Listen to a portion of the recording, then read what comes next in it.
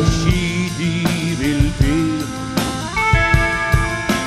Galbūt kada nuneš į šviesą, bet rydiena taip toli. Dausos jau kviečia